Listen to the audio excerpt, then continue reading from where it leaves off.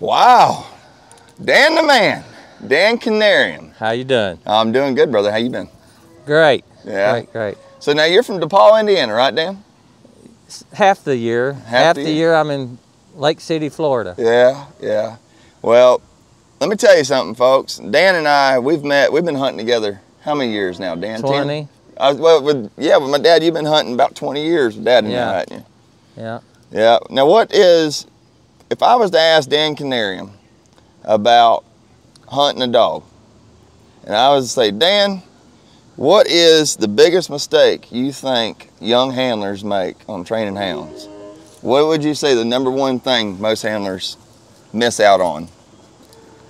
Not letting the dog teach them for one thing. Let them learn. Yeah. Yeah. Uh, yeah, a new handler now. Now, if it's a experienced handler, that it's just so many different things that it's hard to pick one. Right, You, every dog's different, and you got to train every dog different. right, And you got to.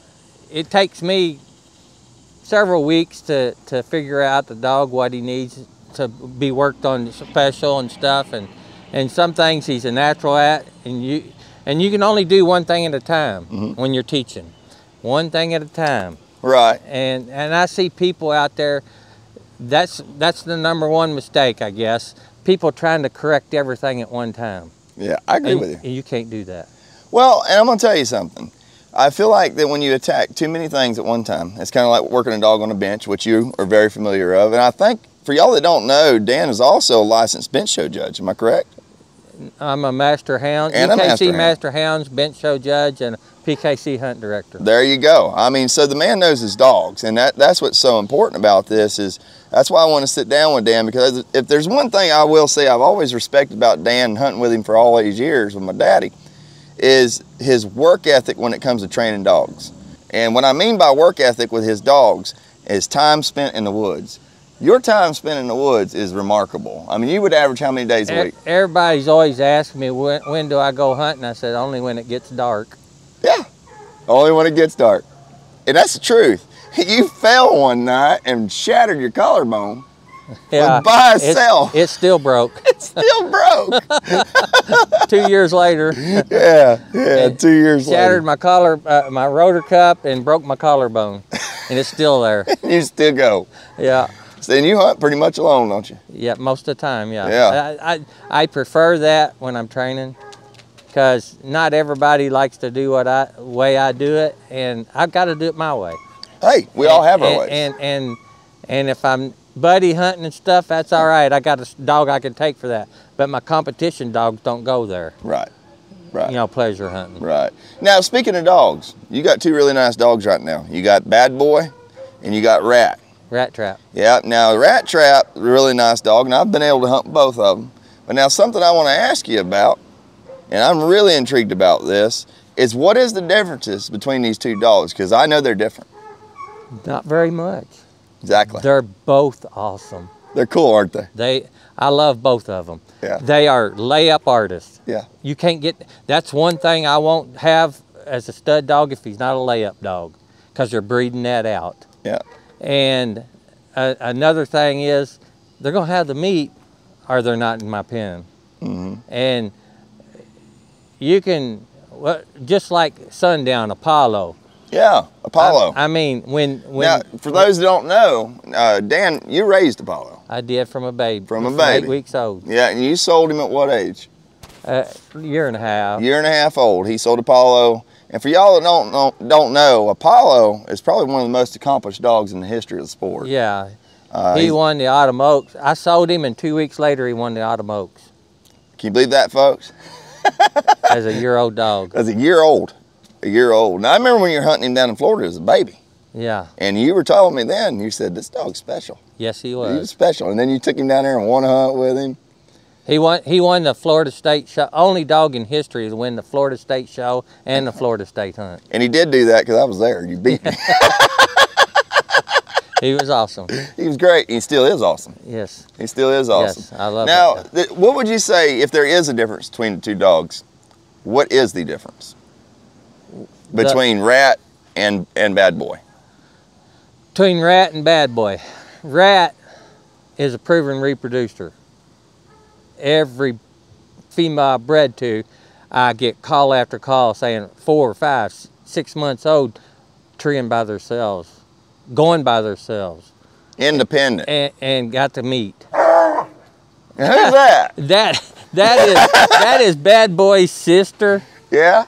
and uh, Rat has never seen her, and Rat thinks he's got a new girlfriend. Oh. So he Rat. says, hello, darling. Rat, heel, heel, rat, heel. Come here, come here, buddy. Come here. But something you I want to, something I really want to talk about is, uh, folks, this man, when I say he hunts, he doesn't just hunt. He goes and trains, and he gets out there. You spend time with your dogs, and It- I think time is the deal. I I've made I don't I couldn't tell you how many dual grands. I Right. mean, it's it's a big number. Yeah. And and I, I I don't even remember half of them's names. Uh, I, it's been so many. I But- know I've tried asking you a few times, and you're like, Jason, I can't tell you. And, and I'm 67 years old, and and and my memory's getting not too good.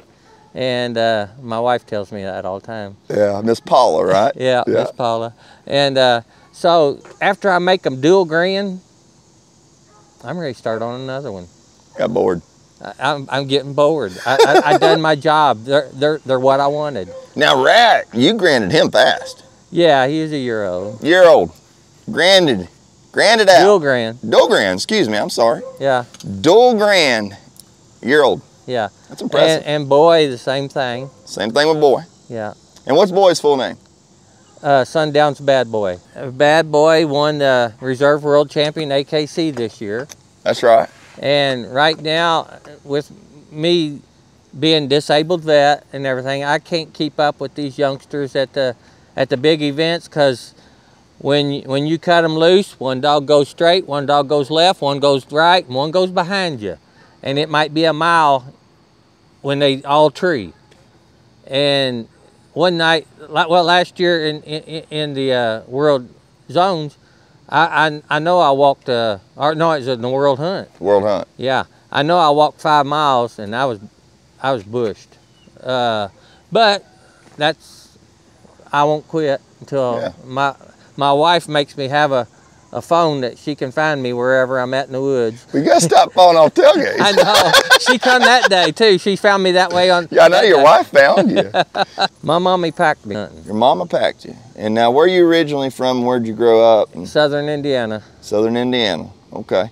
Yeah. All right. And your mama got you on on her back and towed you No, around. yeah, she she she had me on her hip, and then I'd walk for a while, and she'd pack. I still remember that. So you had a raccoon Yeah. coming at you. And I was, you know, a little toddler, and, and, uh, and the dogs come right beside me. One of them knocked me down. I still remember that. I was, a, I, I could. That's something you can't forget. No. And, and then when I got older, you know, seven, eight, nine, if we could get our arms around that tree, we had to go up. We had shakeout season back then. If we got our arms around it, Dad said go, and Yeah. we did. Yeah, yeah. Now, what do you think is the biggest difference in dogs from back then to now? they're breeding uh, the nose out and the layup dogs out, and they're wanting dogs to go a mile and then put their nose down, and- and I won't own one. Yeah. Uh, that's not a coon dog. That's a man-made dog. Mhm. These dogs are naturals. Bad Boy and Rat Trap, total naturals. I didn't. It was so easy to train them, so easy, and their pups are doing the same thing. Rat's pups. Mhm. I've got straws on Rat, and I got straws on Bad Boy, and Bad Boy right now is in uh, South Carolina with a young boy running after him, and What's this young man's name? I know he's hunting for you right Justin now. Justin Allen Justin Allen. and Okay. and Kevin Jackson. Okay. It, them two are working him. Okay. So Kevin Allen Is, and is the handler, the and- handler. And, and Kevin Jackson's keeping him and, and keeping him in good health and very nice. and and, uh, and it, it broke my heart. And my that's my wife's dog. Yeah. She picked it out right here two years ago, Right. right over there. or three years. No, right here three years ago. Three years ago. Yeah, three years ago. He's three now, and uh, and she said that's the one, and and I said okay, and we took him, and and she's she's really proud of him. Yeah. Looks like you are too. Yeah, I, I, his mouth is ungodly, Yeah. and everybody I go hunting with that ain't never heard him before, they'll say, "Oh my gosh," Yeah. you know. And he does. When he comes on a tree, he has a beautiful locator. Oh gosh, a, a, a, kid could call. You're him. right. and that's why you know. And then And he rolls it over to a steady chop. oh yeah, Yeah, he's yeah, ever yeah, breath, yeah. ever breath tr- tree dog. Yeah. Yeah. And so is Rat. And uh, but uh, they, he he he gives the same thing a, a big ball locate, and and you can call him on it. Mm-hmm. So, Mhm. but uh, I, I'm really proud of both of them. Well, you should be. You've accomplished a lot. So, Bad Boy is this year, 2023's AKC Reserve World Champion. Yes, sir. Ah. So what happened there? How many? As far as now, you finished. So you you were Reserve World this year, and uh, you're who was handling for you there? Me. You were handling there. Good Yeah. deal. Good deal. So it was you and your boy. yeah, he, he he does a lot better for me, but he's starting to handle good for Justin, Yeah. and and Justin just loves that dog. Well, don't you think that's a lot because of how you hunt and your style hunt? You hunt alone. They come one man right, dogs. Right. And I yeah, and, and I hunt them solo mo- mostly, and and and and and I do. I don't never get them bored. Some people hunt them by themselves every night, or they got to be by themselves every night. Uh, they get bored. Yeah. And you got to switch it up every now and then, and, and keep them loving it. Having fun. They got to have fun. All right. If they ain't having fun, you're not going to have fun because you ain't Right. going to operate right. Yeah, You, you got to make it fun for the dogs, and and I'm a firm believer in that. And like boy and, and, and rat, when you first turn them loose, if they strike, they're going to be on that tree with how many other dogs? They don't care. Yeah. They're going to be there. But after that, they're going to go their own ways, and and if another dog comes with them and trees with them, that's okay. They don't care. Right. But they're going to tree first. Yeah, and they're very independent. They're, Yeah. they're all about getting the job done. Yeah, and and and and these dogs that they are that that was natural. Yeah. And these dogs that they man make like that, a lot of times they get a little rough. Yeah. At the trees, and they and and some people like that, but I despise it. Yeah, well, I agree with you there. I don't think that there's any room for a mean dog. Period. No. No. Uh, we're we're at a competition hunt. We're Yeah, we're expected to be gentlemen. It- Well, the way I look Competition hunting it, should be fun. well, yes, and we're expected to hold ourselves up to a respectable person and treat each other respectfully. Well, our dogs should do the same thing on the tree or while they're hunting. Yeah, You know, it, it's common sense, but some folks, you know, they like pushing the envelope, and that's I all right. know. And That's they all say, well, if nothing trees with them, they can't get no points. I can't get in trouble if nothing Yeah. trees with him. But eventually, eventually, It'll catch up with it'll you. catch up with and you. and and it, everybody that knows me. I uh, I've never owned one like that, I've never known you to have one. and and all my dogs are will let anything tree with them. And now they won't tree with another dog if they're already treed. They'll go and get their own. hmm But if if they tree first, they don't care how many dogs come to tree, Now, wouldn't you say that's an advantage? huh? Would you not say that's a great advantage? That's just the way I teach my dogs. I like it. Because I'm gonna tell you something, folks. There's a lot of dogs when you're in hunts, and this is not to bash anyone's dogs. There's a lot of dogs, and Dan will back me up on this. I'm about 100%. Cut them loose. Every dog leaves there barking. Yeah, All of a sudden, next thing you know, that fella didn't tell you there was a feeder 50 yards down there. yeah, All them dogs will load up on that feeder, but sometime that raccoon's been eating there, and dog like yours will surpass them dogs, go right past them next so thing you many know. times. Well, Go ahead. rat boy doesn't do it so much but rat if a dog's treed close to him he'll go check it out Yeah. and if they ain't got it he's gonna go treat that. he ain't gonna stay there if they got it Yeah. but he he's wanting to check He gonna find they- that raccoon. he, he's wanting to check see if they're lying Right, right. and if they are sorry about your luck he's gonna have that meat yeah, he gonna slip out and go find him. yeah he, he and he and he's so sneaky he won't say a word for a hundred yards till he gets away from that tree and then then, Then he'll open up and do yeah. his thing. Yeah. I tell you what, that's a cool dog to have. it's fun. Well, Uh, Dan, I tell you one thing. I, I sure respect you for the hounds that you have. I Thank you. respect your training. Uh, I've been, I've, I have hunted with this man quite a bit. We've hunted together quite a bit, and believe it or not, we train a lot alike. He hunts alone. I like hunting my dogs alone. Dan will cut one way, and I'll cut the opposite way. And if our dogs start coming together, Sorry about their luck. Sorry about their luck. They got to go the other way. Yeah. And you know, but I, I will say one thing about Dan Knieriem in his defense of anything. If anybody ever doubts Dan about one thing, do not ever doubt this man when it comes to training a coonhound. He knows a coonhound as good as any man in the business. And I mean that from the center of my And heart. You- You're, you're a damn good One thing I, I, I believe in too is being a man of your word. Yes, sir. And today, that doesn't mean much. And it breaks my heart that people are like that now. Yeah. And and back in the day, my hand shook was good as any written paper or Yeah. anything, and Yeah. that's way I- way it's way it is. And and and I won't put nobody down for the way they're acting, but it's just not the same. It's different.